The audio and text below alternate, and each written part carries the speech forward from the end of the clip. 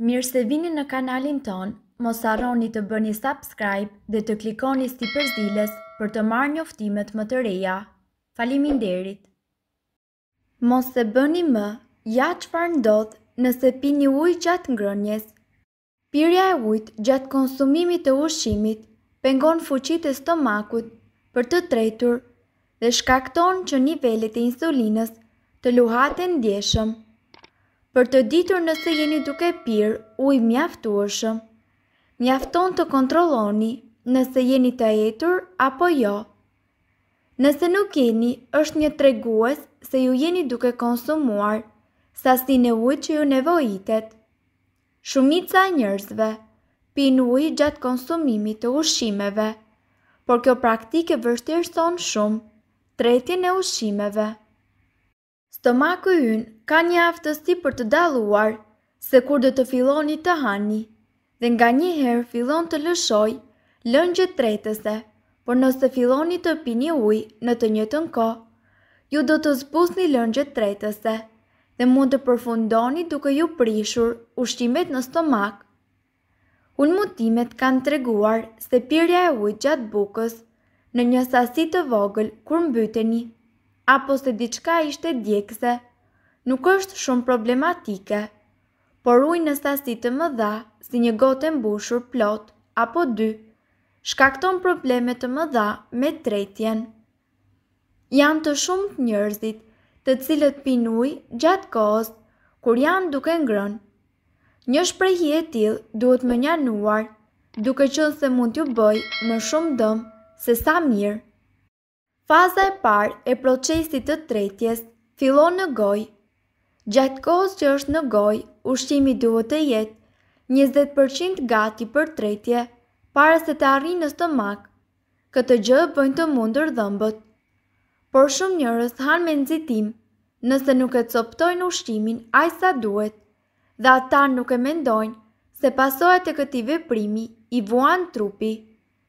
Kur ushqimi copëtohet në mënyrën e duhur, goja prodhon sasi të mjaftueshme të pështymës që e ndihmon ushqimin të shkojë me lehtësi në stomak.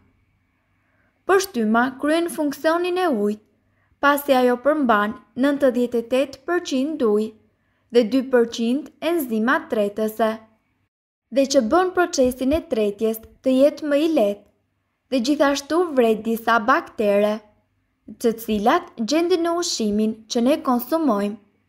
Kur ju pini ujë, ndërkohë që jeni duke ngrënë, goja ul sasinë e pështymës që prodhon, gjë që sjell vështirësi në procesin e tretjes.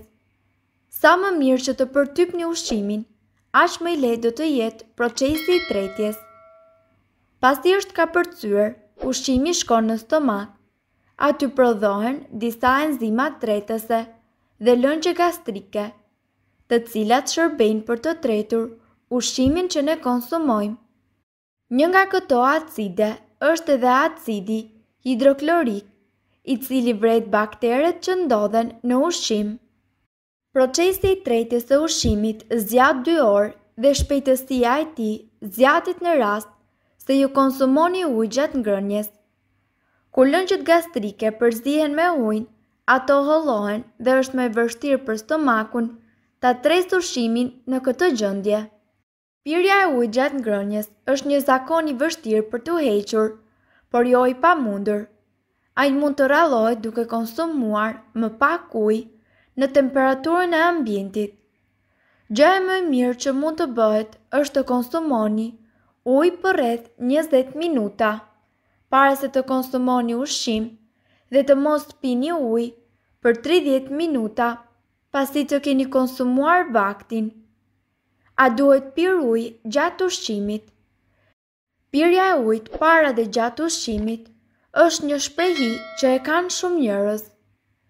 Zbulimet e reja tregojnë se pirja e ujit gjatë ngrënies bën më shumë dëm se sa dobi.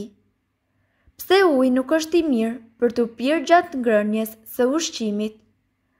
Dietologja Robin në librin e saj pretendon se kjo shprehi dëmton tretjen dhe thithjen e materieve ushqyese në organizëm.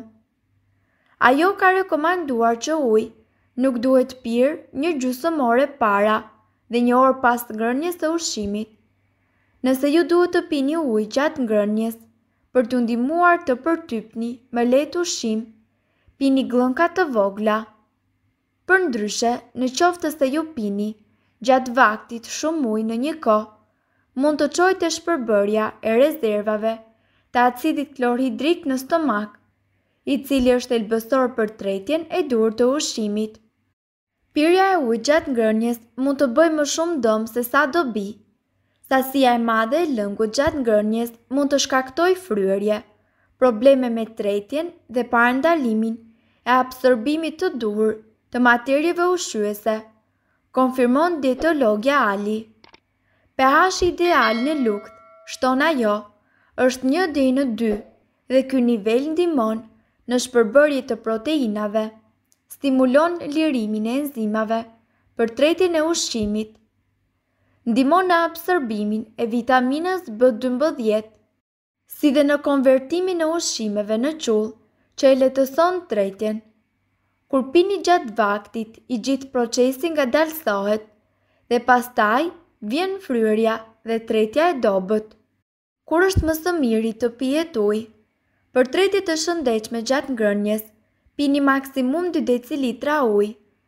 Gjatë pjesës tjetër të ditës, midis vakteve që do t'ju ndihmojë të largoni urinë e rreme, që ju e mendoni kur në të vërtetë jeni të dehidratuar. Pirja e ujit gjatë ngrënies mund të ngadalësojë procesin e tretjes. Është më mirë të pini ujë përpara se të hani, sepse përpos se mbrohen muret e stomakut, ndihmon që të ndiheni më të plotë dhe do të ndalojë mbingopjen ose mbingrënien. Kështu që natyrshëm lind pyetja, a është mirë të pini ujë ndërsa jeni duke ngrënë? Çdo njeri i di përfitimet që sjell konsumimi i ujit, si eliminimi i toksinave, hidratimi i organeve, transportimi i materialeve tek qelizat dhe ndihmesa në të gjitha proceset metabolike. Kjo është arsyeja pse rekomandohet të pini 2 deri në 2 litra e gjysmë ujë në ditë. Së pari, uji nuk ka kalori, Në qoftë se pini ujë para dreke apo darke stomaku do të mbushet dhe ju do të hani më pak, por kjo nuk do të thotë se ju mund të bini në peshë për shkak të kësaj. Në një studim të bërë në Boston nga shoqëria kimike amerikane, Thuhet se njerëzit që pinë dy gota ujë para se të hanë, konsumojnë rreth shtatëdhjetë e pesë për qind deri në nëntëdhjetë për qind më pak kalori. Kjo për shkak se uji mbyt urinë, apo edhe për faktin se nganjëherë mendoni se jeni të uritur, kur thjesht jeni të etur. Një tjetër studim tregon se nëse konsumoni ujë gjatë ngrënies, do të shkaktojë mbajtjen e lëngjeve. Ekspertët thonë se kjo gjë është e rreme sepse ndodh krejtësisht e kundërta. Pirja e ujit nxit funksionimin e veshkave dhe ndihmon ekuilibrimin e nivelit të ujit në trup. pa marrë parasysh kohën që pihet. Në rastin e disa dietave, të cilat ndalojnë ujin e pijshëm, ndërkohë që hani karbohidrate, ndodh sepse kjo e bën procesin e tretjes më të vështirë. Kjo metodë përdoret në rastet kur jeni duke konsumuar patate, bukë, oriz të bardhë e të tjerë. Këto ushqime dhe konsumimi i ujit në të njëjtën kohë e bëjnë stomakun tuaj të ndihet më i fryrë. Rekomandohet të pihet ujë pas ushqimit në mënyrë që të mbrohen muret e stomakut tuaj. Rekomandohet gjithashtu që ky ujë të jetë në temperaturën e ambientit dhe jo ujë në frigorifer apo ujë me akull. Gjithashtu duhet të mbani ndërmend se një organizëm ndryshon nga një tjetër dhe kjo nuk do të thotë që kjo mund të ndodhë tek të gjithë ju. Nëse doni të dëgjoni video tona që ne postojmë çdo ditë, kliko subscribe.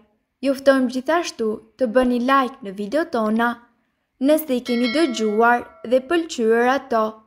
Faleminderit që e patë videon tonë. Shpërndani këtë video në profilin tuaj në mënyrë që të informohen edhe shokët tuaj.